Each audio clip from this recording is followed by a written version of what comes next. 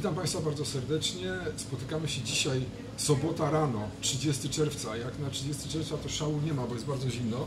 Spotykamy się z profesorem Grzegorzem Kucharczykiem, znanym naszym e, czytelnikom oraz e, e, tym osobom, które były w zeszłym roku na targach w Bytomiu, gdzie profesor dał znakomity wykład. Spotykamy się, proszę Państwa, w kawiarni Vincent przy Placu Grzybowskim, bo takie są okoliczności akurat i tu możemy się spotkać. I będziemy dzisiaj rozmawiać o książce, której w zasadzie już nie ma, e, e, ale która jest e, warta tego, żeby się za nią rozejrzeć po rynku i warta tego, żeby ją przeczytać. To jest książka zatytułowana Hohenzollernowie. Autorem jest siedzący tutaj obok profesor Grzegorz Kucharczyk. Hohenzollernowie w zasadzie trzeba było powiedzieć monografia rodziny, która doprowadziła do upadku pierwszą Rzeczpospolitą. Proszę Państwa, ja takie spostrzeżenie. Polacy niechętnie interesują się historią tych osób, które zrobiły im krzywdę i to jest moim zdaniem, panie profesorze, poważny błąd, bo trzeba szukać y, odpowiedzi na trudne pytania i y, trzeba się uczyć na błędach y, i na doświadczeniach też niekoniecznie własnych. Do tego służy ta książka. Ja mam taki pierwszy problem, który bym chciał, żebyśmy tutaj sobie omówili, ponieważ w relacjach, relacje pomiędzy koroną polską i w ogóle Polakami a Hohenzollernami postrzegamy jako relacje wrogie. Natomiast one w rzeczywistości przez y, długi czas takie nie były, prawda? Y, Mamy to y, czasy przedrozbiorowe, przed XVII wiekiem, tak? I mamy intensywną współpracę pomiędzy rodziną Hohenzollern, może nie tą brandenburską, ale tą e, rodziną ze Szwabii e, i z e, e, Bayreuth i Ansbach, e, bo przecież Jagiellonowie, e, Jagiellonki żenią się z, e, z Hohenzollernami. Albrecht Hohenzollern to jest wnuk Kazimierza Jagiellończyka, prawda? E, Więc e, musimy myśleć o tym w ten sposób, a także musimy się zastanowić, jak to jest, że na pytanie mamy taki problem. Y, Korona Polska popełniała szereg błędów, niewykorzystanych sytuacji. Jak pan napisał, niewykorzystane sytuacje się mszczą nie tylko w sporcie. Y, I y, czy to rzeczywiście były niewykorzystane sytuacje? Czy może to było coś innego? Bo Jagiellonowie ostatni, a potem Zygmunt III pozwalali Hohenzollernom na bardzo dużo. Pozwalali im na umocnienie swojej pozycji w Prusach, prawda? Y, Oni działali metodycznie, powoli, y, ze strategią obliczoną na lata. Dlaczego na to pozwalano? Można powiedzieć, że naj, najkrócej, że odpowiedź tkwi w tym, że właśnie w tym okresie, już XVI wiek, mamy do czynienia ze zjawiskiem, które Hohenzollernowie zauważyli, o tym świadczą testamenty polityczne Hohenzollernów, e, zwłaszcza tych wybitnych. E, zauważyli to jako czynnik pozwalający znacznie poszerzyć pole ich gry, to znaczy rozdział między koroną, czytaj dworem królewskim, a Rzeczpospolitą, czyli tak zwanym narodem szlacheckim. E, Wtedy rodzi się właśnie w XVI wieku e, tak zwana Rzeczpospolita Szlachecka. I jak na przykład e, poczyta się uchwały sejmików w XVI i w XVII wieku, kiedy już Hohenzollernowie w Prusach się usamodzielnili, to co, co zaskakuje, że szlachta na sejmikach, jeżeli już w ogóle dostrzega jakiś tam problem pruski, to generalnie e, interpretuje to na zasadzie, a my tego pana elektora czapkami przykryjemy, prawda? To jest zupełne lekceważenie tego, tego, tego problemu. E, A w XVI wieku, gdzie rzeczywiście dochodzi także z racji koligacji dynastycznych, bo Alder Hohenzollern był w końcu siostrzeńcem Zygmunta Starego, przed którym klękał na rynku krakowskim w 1525 No tak. roku. E, No to z drugiej strony mamy rzeczywiście e, po naszej stronie taką oto przypadłość, że o ile e, w Prusach i Brandenburgii mamy ciągłość władzy w jednym rodzie, to akurat w XVI wieku w Polsce, jak wiemy, mamy przejście z monarchii dziedzicznej do monarchii elekcyjnej. No tak. I każdy król elekcyjny, załatwiając różne swoje sprawy i też mając różne, e, różną postać kontraktu zawartego z narodem szlacheckim, czytaj pakta konwenta, to też różnie patrzył na, to, e, na tą rzeczywistość polityczną między Pregołą a Wisłą, czyli w księstwie pruskim. Bo rzeczywiście tak było, że mamy od XVI wieku całe pasmo niewykorzystanych szans, bo przecież e, obiegowa opinia jest taka, że w 1525 roku Zygmunt Stary popełnił kardynalny błąd i ten smutny Stańczyk, który na, na obrazie Jana Matejki już widzi tą przyszłość, widzi mhm. Fryderyka II i rozbiory Polski, jak gdyby no, jest tym, tym, tym symbolem tego, tego, tego błędu, człowieka, który dostrzegł już wtedy ten błąd. Ale przecież już e, kilkadziesiąt lat później, właściwie za życia Alberta Hohenzollerna okazało się, że rzecz, państwo jagiellońskie ma bardzo duże możliwości, realne możliwości przejęcia księstwa pruskiego, bo okazało się, że jedyny syn Albrechta Hohenzollerna, Albrecht Fryderyk, no, był niesprawny umysłowo, no tak. to. Od razu, były, od razu już e, przemyśliwano o kurateli nad nim, a klauzule traktatu krakowskiego, które przewidywały w takiej sytuacji dziedziczenie księstwa pruskiego przez boczne linie, też były korzystne w tym sensie, że no, los nam sprzyja, bo jak to woli opatrzność, że ci wyznaczeni do dziedziczenia z bocznych linii zaczęli wymierać. Ale oddano tego wariata pod opiekę Jerzemu Fryderykowi, który był strasznym człowiekiem. I oddano to za zgodą króla Zygmunta Augusta, a w 1563 roku on w ogóle jak gdyby rozszerzył, rozszerzył postanowienia traktatu krakowskiego, dopuszczając do, do dziedziczenia też linię frankońską. No, no w każdym razie to była pierwsza zmarnowana okazja. Potem kolejne, jak gdyby kolejne jak gdyby pole gry dla Hohenzollernów y, poszerzali no, skądinąd wybitni władcy, Stefan Batory, prawda, który też właściwie y, daje prawo de facto rządów y, Hohenzollernów brandenburskich nad księstwem pruskim, bo to jest, to jest kluczowa rzecz i odnoszę wrażenie, że podobnie jak generalnie w świecie polskiej polityki mało się czyta mapę, wtedy też mało czytano no mapę. Tak, bo chyba były tajne nawet. A może ale w tych nawet tajnych mapach widać było, że z jednej strony mamy Prusy, z drugiej strony Brandenburgię, po środku tak zwane Prusy Królewskie, czyli Pomorze Gdańskie należące do korony. No i naturalną koleją rzeczy jest to, jeżeli jeden podmiot skupi w ręku i Prusy, i Brandenburgię, będzie starał się je połączyć. Wtedy jeszcze nikt nie mówił o eksterytorialnych autostradach, liniach kolejowych z racji oczywistych, ale taka była od początku tendencja. W końcu Zygmunt III Waza 1618 roku zezwolił, że Hohenzollernowie brandenburscy przyjęli już faktyczne rządy w księstwie pruskim jako lennicy korony, ale doszło, doszło do połączenia, prawda? I to nie na skutek jakiejś zwycięskiej wojny Hohenzollernów z Rzeczpospolitą, nie na skutek jakiegoś nagłego tąpnięcia państwa, e, e, państwa e, Rzeczpospolitej Narodów, która wtedy prowadzi przecież no, wojnę z takim skutkiem, że jesteśmy przez jakiś czas w Moskwie. No I w tak. tym samym czasie i w tym samym czasie y, pozwalamy jako państwo na to, żeby zainstalowali się Hohenzollernowie brandenburscy w księstwie pruskim. Jest jeszcze jedna ważna rzecz, bardzo istotna dla Hohenzollernów brandenburskich. Oni w Brandenburgii byli formalnie lennikami cesarza, mhm. natomiast księstwo pruskie było poza Rzeszą. No tak. No więc oni się chcieli uzależnić od cesarza y, i przyjąć rzekomy protektorat słabszego prawda, władcy, czyli króla polskiego. Tak to chyba wyglądało. Jeszcze jedno takie mam pytanie.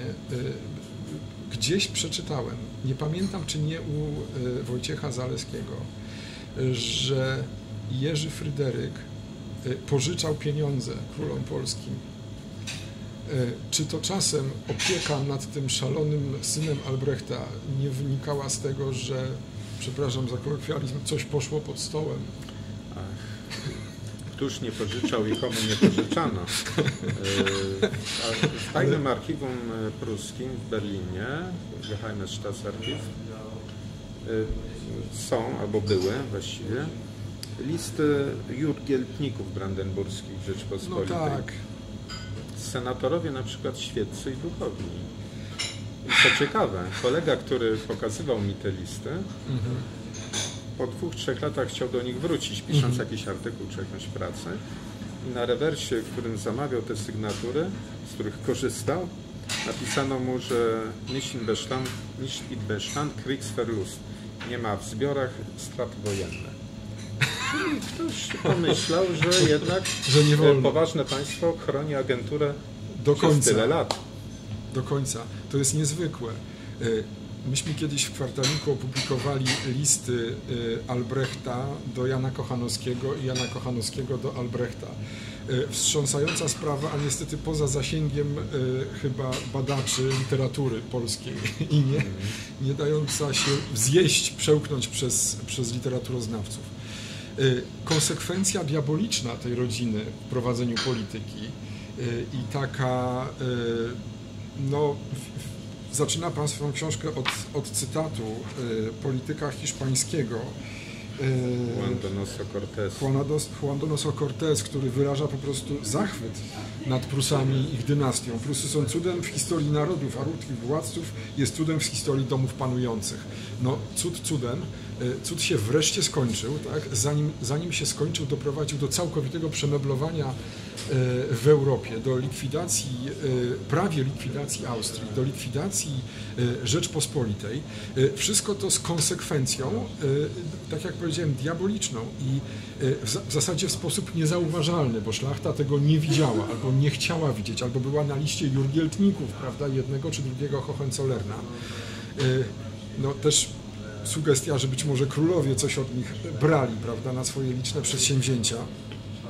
Y, Zanim doszło do wojny prawdziwej, nikt nie był w stanie sobie wyobrazić, y, że to w ogóle jest możliwe, prawda? Bo teraz przenieśmy się w czasy Fryderyka y, Wielkiego, a raczej jego ojca, Fryderyka Wilhelma I, zwanego królem sierżantem, czy też nawet kapralem, zdegradować jeszcze bardziej.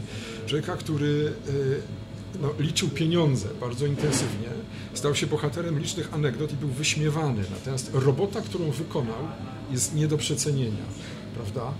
Y, To y, Prusy były chyba, ja z tego co pamiętam, jedynym niezadłużonym krajem w Europie. Y, Geniusz, można powiedzieć. Ge- Geniusz na naszą zgubę. Po czym jego syn, pierwszy chyba, tak mi się wydaje, no były wojny, prawda, XVII-wieczne ze Szwedem, Brandenburgia walczyła i tak dalej, ale pierwszy pokazał, do czego służy armia i do czego służą pieniądze. I no, można go nazwać ojcem y, nowoczesnego państwa pruskiego. Y, I teraz to tak, byli, to no, byli rzeczywiście ci dwaj, Hohenzollernowie, Fryderyk Wilhelm I, ten król sierżant i jego syn Fryderyk II, zwany Wielki. E, To byli rzeczywiście najwybitniejsi. No i ten trzeci, jeszcze wcześniejszy, wielki elektor, ale tych dwóch w XVIII wieku to było rzeczywiście fundatorów potęgi, byli funda- fundatorami potęgi państwa Hohenzollernów. Fryderyk Wilhelm I rzeczywiście wprowadzając niekiedy bardzo drastyczne oszczędności, ale on rzeczywiście zracjonalizował i administrację tego państwa, a przede wszystkim administrację skarbową. Na czym, na czym polegało budowanie tak zwanego absolutyzmu w Prusach, czy w Brandenburgii Prusach? To zaczął tak zwany wielki elektor Fryderyk Wilhelm Hohenzollern, dla niewtajemniczonych facet z e, epoki, o której mówi znany polski film Czarne chmury tak, panujący w latach 1640-1688. Tylko w rzeczywistości jemu się udało porwać spod boku królewskiego Kalksteina i go ściąć w Aha. w Quaipedzie. Był taki drobny szczegół, który różnił tą postać rzeczywistą od postaci filmowej. Ale jak on rozpoczął budowanie y, absolutnego państwa? Przede wszystkim wyłączyć y, z- ze współdecydowania o sprawach politycznych, zwłaszcza wojskowych, Stany. Czyli czytaj szlachtę w Prusach, bo ona korzystając rzeczywiście z tego statusu e, lenna, jakim, było, e, jakim były Prusy, czyli zależności jednak nawet formalnej od króla polskiego, oni rzeczywiście byli bardzo samodzielni. Przychodzi Fryderyk Wilhelm Hohenzollern i rozpoczyna się tak zwana brandenburgizacja Prus, to znaczy on przenosi stopniowo na księstwo pruskie wzorce ustrojowe, które już były w Brandenburgii. Co było istotą rzeczy? Wprowadzenie tak zwanego komisariatu wojennego wykorzystał fakt y, początku potopu od 1655 roku. On wprowadza w księstwie pruskim urząd komisarzy wojennych, którzy mają przede wszystkim y, uprawnienia do egzekucji podatków. nie patyczkowano się. Jak ktoś nie chciał płacić podatku, to przyjeżdżał regiment dragonów. Co robiono? Przede wszystkim ściągano dachy. Aha. Jak ściągnięto dach, no to człowieku niby dom masz, ale, ale trudno w mieszkać. No więc w ten sposób skłaniano wielu opornych mieszkańców Księstwa Pruskiego do zasilania kasy elektorskiej. Mając pieniądze, on stworzył armię. On już miał w momencie krytycznym potopu, gdzie rzeczywiście Aha. losy się ważyły, gdzie Szwecja i Polska była, były wyczerpane, on miał 30 tysięcy ludzi pod bronią, to zależnych tylko od niego. I on rzucił to na szale w decydującym momencie. I to jest prawdziwy zwycięzca potopu. Aha. Żaden król Szwecji, żaden król Polski, żadna Moskwa, żadna Austria. Potop wygrały Prusy, wygrali Hohenzollernowie. Oni się usamodzielniają, traktaty welawsko-bydgoskie im to dają.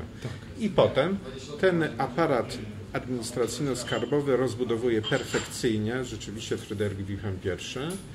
Rzeczywiście armia jest oczkiem w głowie. On, on odziedziczywszy armię gdzieś w wysokości 30-40 tysięcy zostawia swojemu swojemu następcy pomnożoną razy trzy mniej więcej tą armię, doskonale, doskonale e, wyposażoną. To był taki dziwny militarysta. On tak kochał wojsko, że bał się go używać. No tak. Bo no bo szkoda mu było tych wspaniałych regimentów, a poza tym miał ten swój ukochany regiment z tymi drągalami, no tak. Langenkers, e, na mocy specjalnego porozumienia prusko-rosyjskiego. Car Piotr I rocznie dostarczał mu kontyngent e, wysokich mężczyzn. Tam car moskiewski może dużo, więc chcesz, nie chcesz, jedziesz do Poczdamu, będziesz gwardzistą króla Prus. A Fryderyk II, który był niemiłosiernie tłuczony przez swojego kochanego tatę, do krwi, jak, jak no tak. wspomina jego, jego siostra Margaramina Bajro. Doszło do tego nawet, że Fryderyk przecież w operetkowych oczywiście okolicznościach próbował uciec od taty, co się skończyło tym, że przyjaciel, prawdopodobnie nie tylko czytali razem książki. Nie tylko od serca. Tak, nie tylko od serca przyjaciel Fryderyka, późniejszego króla Prus, został ścięty na jego oczach e, w twierdzy kostrzyńskiej i w Kostrzynie nad Odrą. Uwaga, Kostrzyn nad Odrą to nie tylko Woodstock, to też Fryderyk II. Tam właśnie e, Fryderyk, późniejszy Fryderyk II z polecenia taty przyglądał się funkcjonowaniu kamery wojenno-domenalnej, wojenno-skarbowej, czyli tej na dole, jak to funkcjonuje. I z biegiem czasu nabrał biegłości i też przejął styl pracy ojca, e, gdzie rzeczywiście, chociaż Fryderyk Wilhelm I tak o sobie nie mówił, ale tak robił. On się rzeczywiście czuł pierwszym sługą państwa. Wstawał o czwartej, piątej nad ranem, e, sprawdzał wszystkie raporty, co się mhm. dzieje we wszystkich garnizonach w państwie, podejmował decyzje, przyjmował defilady i tak zwane podróże inspekcyjne po państwie, takie objazdowe CBA. Za granicę celem y, poszerzenia swojej edukacji nie wyjeżdżał król. Yy, nie, nie. On uważał, on uważał w ogóle, on zakazywał na przykład szlachcie pruskiej czy brandenburskiej wyjazdów na obce uczelnie. No po pierwsze, żeby nie, nie wstąpili na służbę do no obcych. No tak a po drugie, żeby nie nabyli jakichś niepotrzebnych wiadomości, to jest zaskakujące. godziło w dobro, w dobro, w dobro państwa polskiego. W Polsce te podróże zagraniczne podnoszone są jako walor i coś, co ubogaca naród. Natomiast e, ludzie sukcesu, o których tu mówimy, sukcesu zabraniali podróżować e, swoim poddanym. E, no, Podróże zagraniczne, proszę Pana, to tak jak mecze towarzyskie przed mundialem. Niektórym się wydaje, że rozegrają dużo i będzie dobrze, no tak. a prawidłowość jest dokładnie odwrotna. odwrotna. Im mniej, tym lepiej. Tak samo tutaj. To ciekawe spostrzeżenie. Mam nadzieję, że wsłuchają się nasi czytelnicy w to i... No więc proszę sobie przypomnieć, mała dygresja od Hohenzollernów. Reprezentacja Polski w piłce nożnej w 1982 roku. Trzecie miejsce na świecie, żadnych meczy towarzyskich wcześniej, no bo był stan wojenny, wiadomo, ale... No tak, rzeczywiście. Słusznie. Jakby ktoś poszukiwał selekcjonera kadry. nie wiem, gdzie Boniek mieszka, możemy zadzwonić, ale... Ale na pewno ogląda. na pewno. To jest z tą kamerą wojenną, bo to jest niezwykłe, prawda? Mamy państwo, które funkcjonuje i jakoś się tam toczy. Żeby je poprawić, trzeba stworzyć nowy mechanizm, który zdyscyplinuje ten stary mechanizm i będzie sprawą nadrzędną. Ta kamera wojenna oczywiście musi przynosić y, zyski jakiejś grupie ludzi. To jest wstrząsająca rzecz, której niestety chyba poza Prusami nikt nie rozumiał w Europie. Nie, zdecydowanie nie. To, to było rzeczywiście, jak popatrzymy na przykład, co się działo we Francji, prawda, gdzie Francja, prawda, Francja ostatnich Ludwików, prawda, potęga, a tam mamy cały konglomerat różnych yy, nakładających się na siebie kompetencji. Przecież jest praktyka sprzedawania urzędów państwowych, no tak. także podatkowych. A więc w Prusach to było nie do pomyślenia. Tam była bardzo scentralizowana i bardzo czytelna struktura administracji skarbowej zwłaszcza. No bo królowie pruscy, czy wcześniej elektorowie brandenburscy i książęta pruscy, oni doskonale wiedzieli, skąd się bierze armia. Armia się bierze z pieniędzy. No. Więc y, trzeba pieniądze, pieniądze zabezpieczyć i to przede wszystkim, to także oczywiście służyło jako instrument oddziaływania na Rzeczpospolitą, która nie wymiera nigdy. W 1667 roku wielki elektor w testamencie politycznym. Testamenty polityczne mają charakter nie dyspozycji majątkowych, tylko pewnej wizji strategii państwa dla, dla następców. On napisał tak i do swoich następców 1667. Pamiętajcie, utrzymujcie dobre kontakty z królem i Rzeczpospolitą, która nie wymiera nigdy. Macie trzymać, czy jak gdyby czuwać na tym, żeby nie wymierała nigdy. To jest to rozróżnienie, które oni świadomie czynili. Król i Rzeczpospolita, czyli szlachta, czyli Sejm, Sejm, który łatwo można zerwać, mając do, do dyspozycji środki pieniężne, no i oczywiście budować nimi jak to dzisiaj się mówi, agenturę wpływu, która rzeczywiście już w tych czasach, w których on pisał ten testament, była bardzo silna w Rzeczpospolitej. Porównanie do pasożyta, który się zagnieździł w ciele y, y, gąsienicy jest y, uderzające. Tak, tak, to zresztą uderzające jest to na przykład, jak oni bardzo regionalnie działali, to znaczy szczególnie mocno zinfiltrowana była na przykład Wielkopolska. Mhm zinfiltrowana przez takich agentów Tak, tak, na, na poziomie sejmików nawet. Aha, no właśnie, bo to jest też uderzające, że y, y, no, wielkie, wielkie mocarstwa infiltrują dwory, tak? a Prusy infiltrują wszystko. A po co Prusy mają infiltrować dwór, od którego niewiele zależy no właśnie.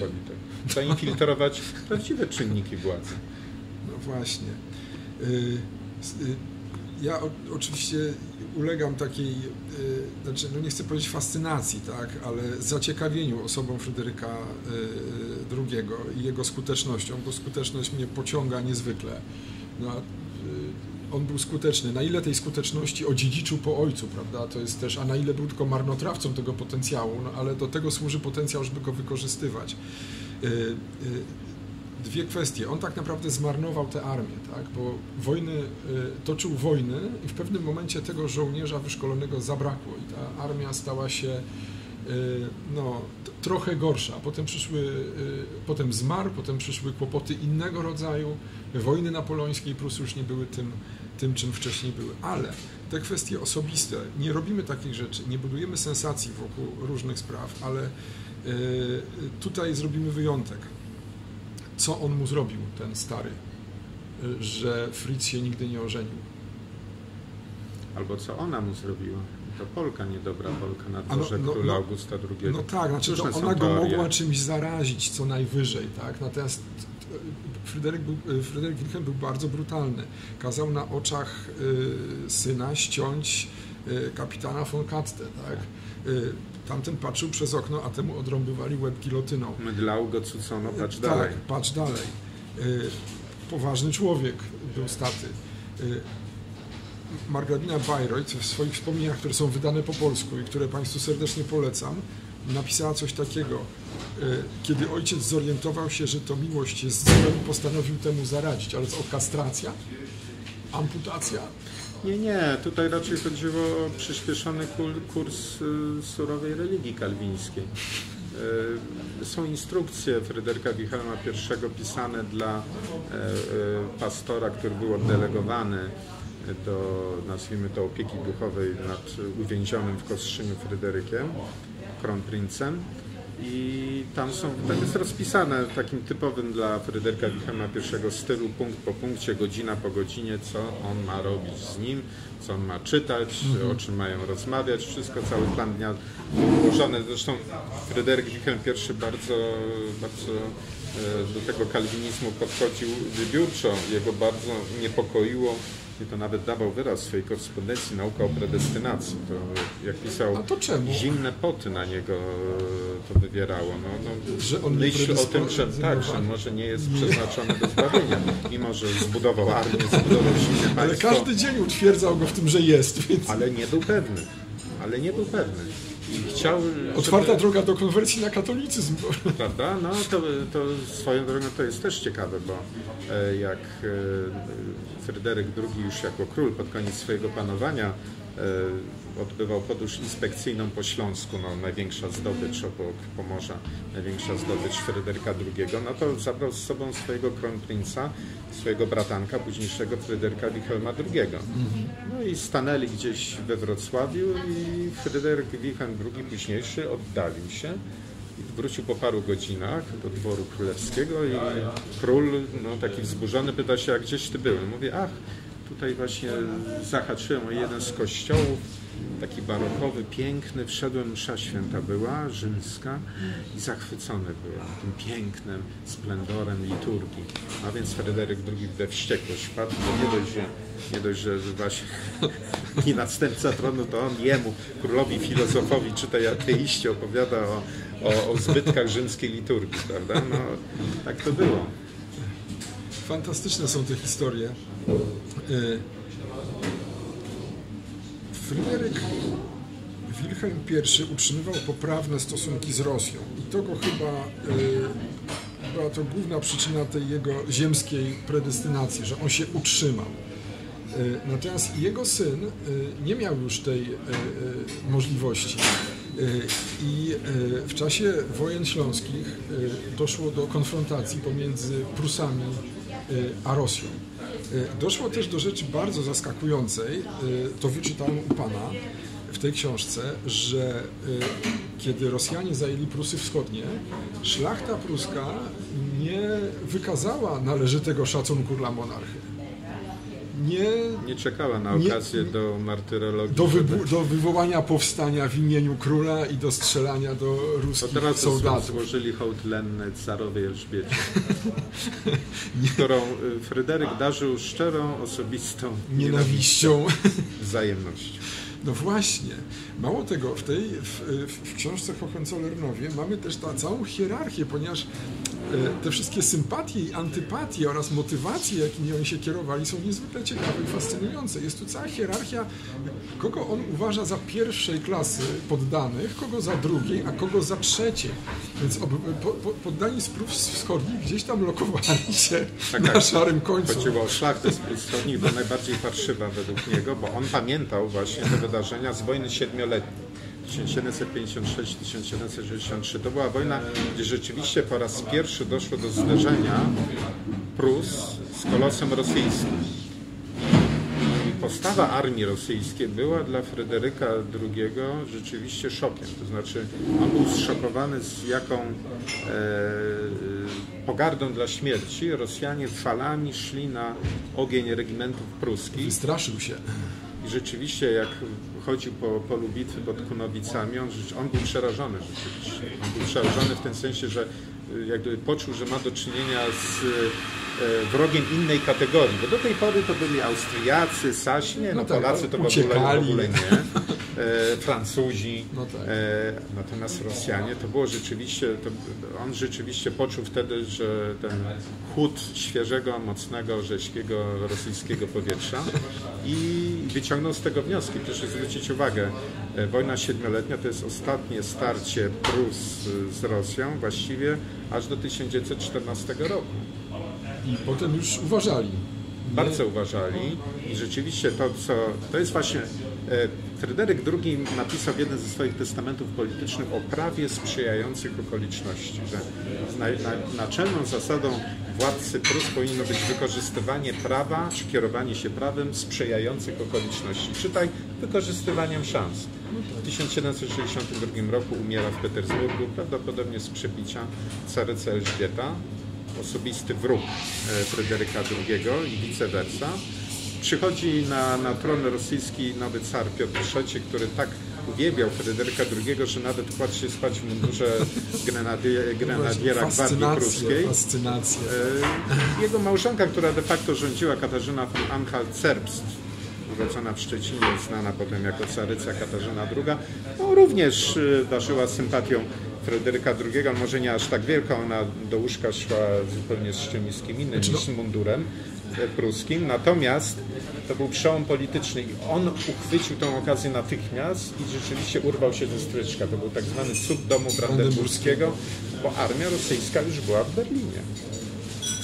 Y, potem próbował ten cud Hitler spożytkować propagandowo. Tak, tak, no bo w 1945 roku umarł tak, on ogłosił, że to jest drugi jeden, cud. Tak, tak, tak. Ale Hitler nie należał do Ale jedno, jedno rzeczywiście to, co Pan już wcześniej powiedział. Y, po armii, po, po, po wojnie siedmioletniej armia pruska już się nie odrodziła. To rzeczywiście te wielkie straty, jakie oni ponieśli, zwłaszcza w starciu z Rosjanami, zwłaszcza w korpusie oficerskim, czy też szlacheckim, no.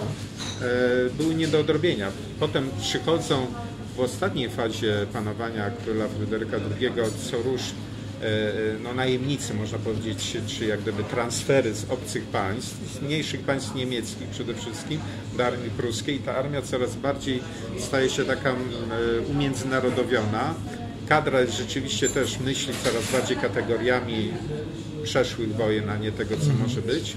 No i rezultat był taki, do tego jeśli dojdzie fakt, że Umiera Fryderyk II w 1786 na tron wstępuje Fryderyk Wilhelm II, wielki przyjaciel kobiet i wywoływania duchów, mało zainteresowany sprawami państwa, przede wszystkim tym, żeby wstawać o 5 rano i zajmować się papierami, tak jak mówił Fryderyk II. Ale ten system już był tak skonstruowany, że bez króla, który ogarniał wszystko, nie funkcjonowało. Chociażby podróże inspekcyjne. To oni, królowie pruscy, doglądali dyrektorzy kamer nie kradną aby czasu, no. mówiąc, mówiąc brutalnie. A Fryderyk Wilhelm II wolał budować pawilony dla swoich kochanek w Poczdamie, a nie zajmować się takimi sprawami. No ale w końcu jeszcze bądźmy, coś spra- bądźmy sprawiedliwi, ten marny władca doprowadził do znacznego poszerzenia terytorium Prus o Wielkopolskę, no, Mazowsze no, i Podlasie. No, no, tak, ale to, żeby to zrobić musiał mieć jakieś gwarancje i te gwarancje przyszły znowu z Moskwy. Rześkie powietrze ze wschodu objało ponownie, tym razem w tak przyjaznym kontekście, ale to, to, to rzeczywiście e, e, szło trochę już takim rozpędem nadanym jeszcze przez Fryderyka II, ale, ale już e, jak mówi klasyk, duch czasów był taki, że no, się objawił z mocą tragiczną dla Prus, dramatyczną dla Prus w 1806 roku, 20 lat po śmierci Fryderyka II pod Jeną i Auerstedt. Jednego dnia armia pruska legła. Doszło do tego, że paru dragonów zdobywało twierdzę w Magdeburgu, 30-tysięczną. To degeneracja straszna, ale dwie ważne rzeczy chciałbym podkreślić. Po pierwsze, jak długo trzeba pracować w pokoju, żeby uzyskać poważny polityczny rezultat. Ile pokoleń trzeba było wychować w dyscyplinie, y, żeby potem można było wygrać wojny śląskie, tak? żeby można było przyłączyć Śląsk, żeby można było przyłączyć Pomorze. Ile trzeba było dekad ciszy, żeby ten efekt osiągnąć. To jest jedna sprawa. A druga sprawa, powtórzmy jeszcze raz, o Rzeczpospolitej, która nie wymiera nigdy, to jest szalenie ważna rzecz. I to drugie, prawo sprzyjających okoliczności. Niech sobie politycy polscy wpiszą to do sztambuchów i o tym dobrze pamiętają, bo to jest przykład, na którym trzeba się uczyć. Tu pan profesor napisał, że jest to kawał polskiej historii. To prawda, ale jest to kawał polskiej historii, której my się nie uczymy, bo my się uczymy z innych kawałków. Śmiem twierdzić, że o wiele mniej potrzebnych.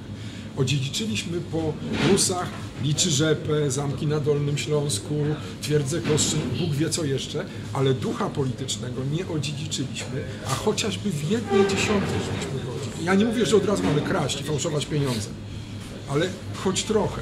To jest, to jest dramat prawdziwy, bo rzeczywiście wielokrotnie zderzam się z taką rzeczywistością, także w Poznaniu czy w Wielkopolsce generalnie, że w ogóle o plusach, o kancelernach ludzie kompletnie mało wiedzą o państwie i o dynastii, która wywarła tak wielki wpływ w ogóle na dzieje Polski, a zwłaszcza na dzieje tych ziem.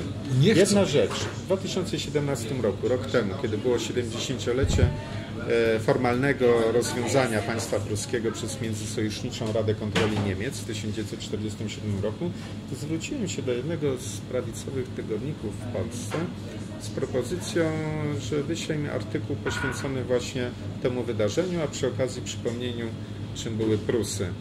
Dostałem odpowiedź od redaktora, że bardzo dziękują, ale nie, nie są zainteresowani, bo odpowiedź była mniej więcej taka, że to jest temat niszowy i mało kto z czytelników naszego tygodnika będzie się tym interesował. Ale... No więc ja odpisałem panu redaktorowi, że rzeczywiście Prusy, takie małe niszowe państewko, które było współautorem rozbiorów Polski i stworzyło w środku Europy potężne państwo w, postaci Rzeszy Niemieckiej, to jest rzeczywiście niszowy temat.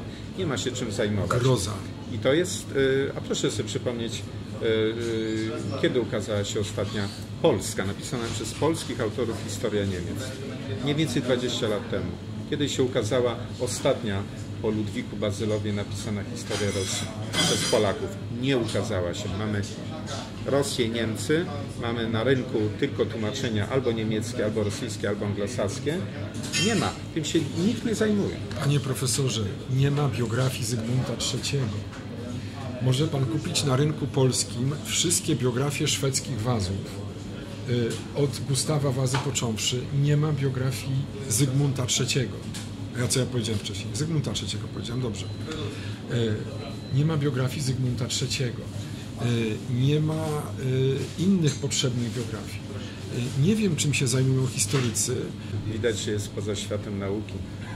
Tak, mało czyta, jest punktoza, poza... Punktoza, punktoza, proszę Pana. Mało punktów, małe wyniki parametryczne, słaba parametryzacja, ja w ogóle nie wiem, słabe co to dotacje. Jest parametryzacja. I zazdroszczę Panu. Y jak ja chcę... też chciałbym nie wiedzieć. Wolę nie wiedzieć. Jak chcę mieć pieniądze, to ogłaszam, że chcę mieć pieniądze. Ludzie mi je dają i ja wydaję za to jakiś projekt. Nie mogę tego robić za często, bo nie jest tych ludzi zbyt wielu ale na przykład teraz podpiszę umowę z Galimardem i wydam biografię Ludwika Świętego Legofa. Na pięć lat sobie wykupię, bo znalazł się sponsor. Czy ktoś w Polsce, jakieś poważne wydawnictwo o tym myśli? Nie. Czy ktoś rozmawia o książkach? Nie. Dlaczego? Bo ich interesuje wzięcie dotacji, a jak wezmą dotację, to gdzie trzeba książkę wysłać? Na przemiał, bo moment zysku już jest. I nie trzeba się starać. Czy tak postępowali Hohenzollernowie? Nie postępowali inaczej. To jest deprawacja. Deprawacja. Hohenzollernowie postępowali według rzeczywiście, większość z nich postępowała według tej zasady, którą opisał właśnie Fryderyk II. E, trzymali się prawa sprzyjających okoliczności. Okoliczności, no właśnie. I to rzeczywiście e, tak było. Natomiast e, ten ostatni na tronie pruskim jako cesarz niemiecki, czyli Wilhelm II, był jednym z najsłabszych w tym rodzie taki typowy Stefek Borczymucha, który y, w warunkach pokojowych potrząsał szabelką, wygłaszał coraz to bardziej no tak. głupsze przemówienia, które potem były wykorzystywane przez propagandę wrogów Niemiec i Prus. Ale jak przyszło co do czego, jak był ten kluczowe tygodnie kryzysu, lipiec, sierpień 14 rok, kiedy ważyły się sprawy wojny i pokoju, i on prawdopodobnie rzeczywiście szczerze chciał pokoju, bo zorientował tak. się, że, że dobra, żarty się skończyły, trzeba, trzeba zacząć myśleć poważnie, no ale zorientował się, że niewiele może.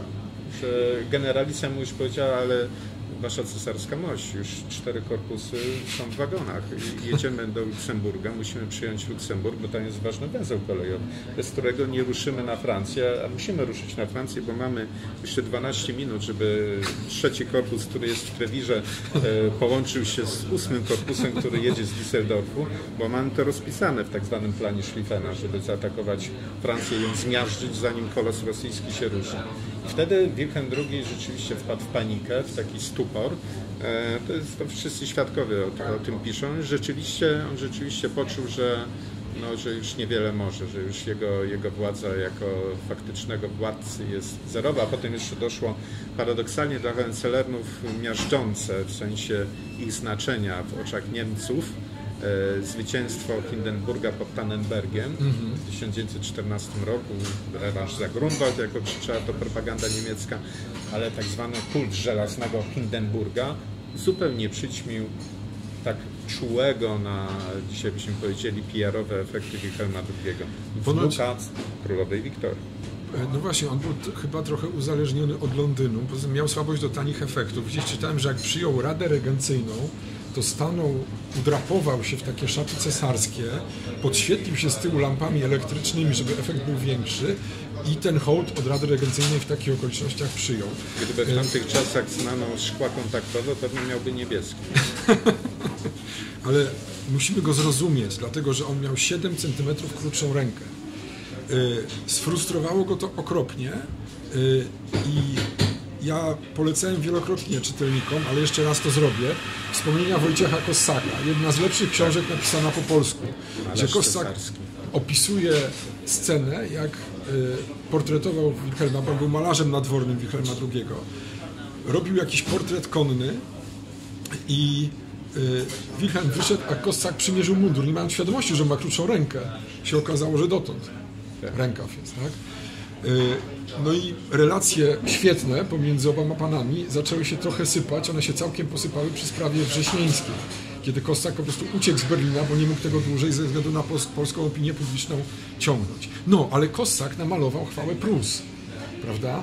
W tych wspomnieniach pisze, że bardzo się starał, żeby to nie wyszło tak, jak Wilhelm chciał, no ale jednakowoż namalował. Bo trzeba oddać Wilhelmowi, że on dekorował koszary Kossakiem. Nie wiem, czy to jeszcze istnieje, czy to gdzieś przepadło. Gdzieś pewno istnieje. No Wilhelm II, no, poza tym, że, że był kiepskim władcą w sensie pewnego przywództwa, do dzisiaj się mówi, leadership, y, on pokrył całe Niemcy, całą Rzeszę Niemiecką siecią muzeów, siecią kościołów stylizowanych na, na właśnie taką na, neobizantyjską modę. Y, To był rzeczywiście człowiek, który był, y, był no, jak mówiono też o jego matce, tej Wiktorii, córce królowej Wiktorii, był e, e, o wszechstronnych, aczkolwiek powierzchownych zainteresowaniach. I to było rzeczywiście takie typowo niemieckie bezserwiserstwo. Do tego jeszcze do, dochodziło właśnie taka, e, e, a miał rzeczywiście też kompleks ojca, to też trzeba powiedzieć, bez e, wchodzenia w psychologizowanie, ale jak jak prześledzimy rodu, e, dzieje rodu Hohenzollernów, to tam z pokolenia na pokolenie jest ostry konflikt syn-ojciec. Ale ostry konflikt. No to generalnie spotyka się przecież wśród dynastii panujących, ale tutaj było e, do ekstremum, prawda? To też słynny właśnie Fryderyk II, Fryderyk Wilhelm I, ale przecież wielki elektor też swoimi synami Darkoty. E, Fryderyk Wilhelm I uważał swojego ojca za ostatni, os, ostatniego niedorajdę, który zrujnował budżet, prawda? I tak to z pokolenia na pokolenie szło. Natomiast Frydery, e, Wilhelm II uważał swojego ojca, tego e, jednomiesięcznego cesarza Fryderyka III, który zmarł na raka gardła w 1888 roku za, za e, to było takie Hassenliebe, jak to Niemcy mówią, połączenie nienawiści z miłością. On go szanował, e, ale nienawidził go przede wszystkim, nienawidził tej legendy Fryderyka, że to był ten cesarz, ten dobry cesarz, który gdyby był na tronie, to by te Niemcy były inne, byłyby lepsze, byłyby takie bardziej otwarte, Bardziej kulturalne. liberalne. E, aczkolwiek no, trzeba pamiętać, że Fryderyk III no przecież był uczestnikiem wszystkich kampanii wojennych pruskich prowadzonych do zjednoczenia Niemiec i bynajmniej nie był przeciwko polityce zbrojnego jednoczenia No Niemiec. oczywiście, że nie. Y, No przecież to wyrzucenie Austrii z Niemiec, no i zjednoczenie Niemiec pod, pod y, berłem pruskim, no to, to był program polityczny, nie można było się z tego wycofać. Ale ten Wilhelm II, bo on jest... Ja często przejeżdżam przez, moja teściowa mieszka w pobliżu, często przejeżdżam przez wioskę, gdzie się urodziła jego żona. Malutka wioseczka y, ziemi lubuskiej dzisiaj między Tuplicami a, a Lubskiem. Drożków się nazywa, albo podobnie, nie pamiętam. Y, Mały kościółek.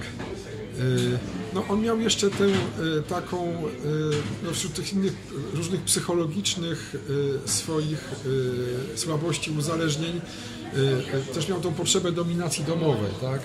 Y, Wziął sobie tą biedną kurę z, z tej prowincji, która tam siedziała gdzieś i dziergała. Y, Mówił do niej moje dziecko. Miał chyba siedmiu synów. Tak. To też jest ciekawe, że dynastia, która tak rokuje, prawda, siedmiu synów. Y, y, Niech sobie to też wszyscy zapamiętają. Siedmiu synów i żadnego następcy. Państwo się rozpada, rewolucja. Tak? Y, No, wynika to wprost ze słabości Wilhelma II, jakby z pozorów, którym on oddawał kult. Y, I następuje no, koniec dynastii, ale nie koniec Prus, bo Prusy się kończą w 1947. formalnie. Znaczy koniec dynastii, znaczy ród przetrwał oczywiście, bo, bo koncernowie ciągle są, mają tą rodową siedzibę w Szwabii, e, ale rzeczywiście kończy się ich panowanie w Prusach jako królowie Prus i e, w Rzeszy jako cesarze niemieccy. To tak na marginesie, nigdy nie było cesarstwa niemieckiego. Byli cesarze niemieccy, natomiast cesarstwa niemieckiego nie było, była Rzesza Niemiecka. Aha było wcześniej, a wcześniej było, jak wiadomo, Cesarstwo Rzymskie, święte Cesarstwo Rzymskie Narodu Niemieckiego. Hohenzollernnowie, e, ale ta legenda oczywiście trwa. E, różni się do niej adaptują, różni sobie na, na, różne potrzeby je używają. No, na przykład niemieccy narodowi socjaliści w drodze do władzy przed 1933 rokiem e, no, lubowali się w przedstawianiu siebie, no, do, całą strategię opracował oczywiście dr Goebbels, żeby E, który, że tak powiem, zapisał do NSDAP zarówno Fryderyka Wilhelma I, jak i Fryderyka II. Nie no, Fryderyk II nie zapisałby się do NSDAP. Ale tak wychodziło z wyborczych NSDAP, że prawdziwymi narodowymi socjalistami w Niemczech to byli właśnie ci dwaj Hohenzollernowie. To oczywiście było na użytek propagandy politycznej, e, ale było nośne. To trzeba pamiętać drogę do władzy narodowym socjalistom w Niemczech w 1933 roku takim nieodzownym etapem było miażdżące, osiągnięte przez nich miażdżące zwycięstwo w wyborach do pruskiego Landtagu 1932 roku. A Prusy w Republice Weimarskiej ciągle ważyły bardzo dużo. Oni wiedzieli, narodowi socjaliści, że droga do Berlina, w sensie władzy nad całą Rzeszą, jedzie przez drogę do Berlina w sensie władzy w samym państwie pruskim.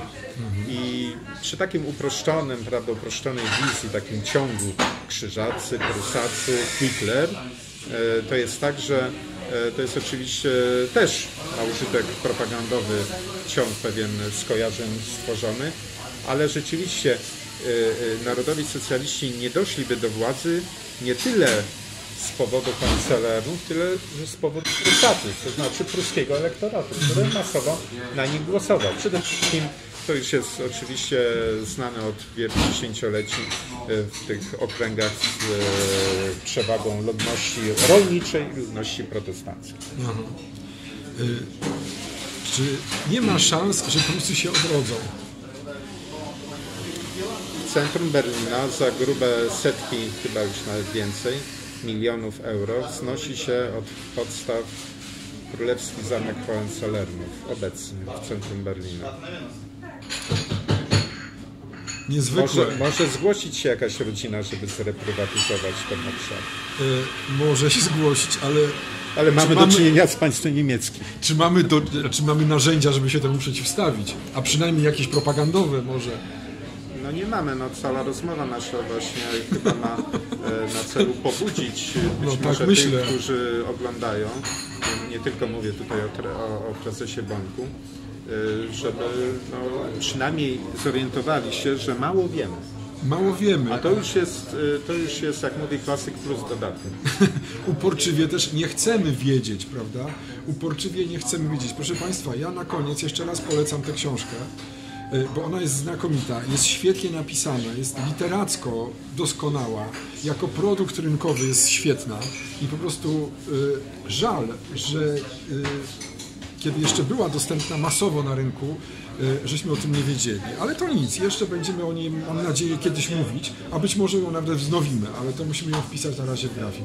Bardzo dziękuję Panie Bardzo dziękuję, czuję się zawstydzony tymi pięknymi słowami, pięknymi opiniami. Ale E, zupełnie niezasłużonymi, ale nieprawda, zgadzam się z moim przedmówcą, z jego konkluzją. Warto ją czytać. Świetna książka. Dziękujemy. Dziękuję.